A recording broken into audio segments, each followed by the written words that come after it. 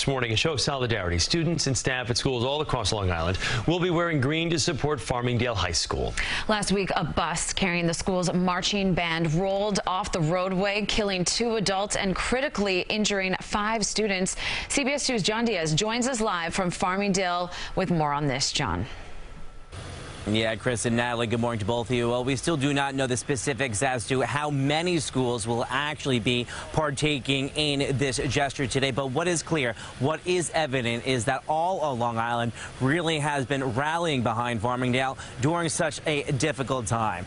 Look, take a look, though, at your screen. These two photos, they've been circulating all over social media the last few days, encouraging people everywhere, not just here on Long Island, to wear green today, even if it's just a small ribbon, to show how unified unified we all can be and uplift the Farmingdale School District during these intense moments of grief. Also, when posting to social media, they're asking people to use the hashtag Daler for a day and hashtag Daler Strong.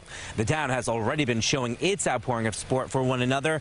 Green ribbons have been seen up and down the streets, showing Daler Strong as more than just a phrase here. Never lose hope in our ability to lean on each other as we move forward together. Think you're seeing the best of Farmingdale. Uh, certainly last week, and you're seeing it again this week. But that's that's Daler Strong. Now, today's gesture comes after just yesterday there was an emotional wake for 77-year-old Beatrice Ferrari, a retired school teacher who people say was the heart and soul of Farmingdale High School's marching band and died in the bus crash. She was a volunteer chaperone. The community will also be rallying around the family of beloved band leader Gina Pellettiere, who also died in a crash. They have been and they will continue to rally around her. The high school will be closed on Thursday, so students and staff staff here could attend her funeral.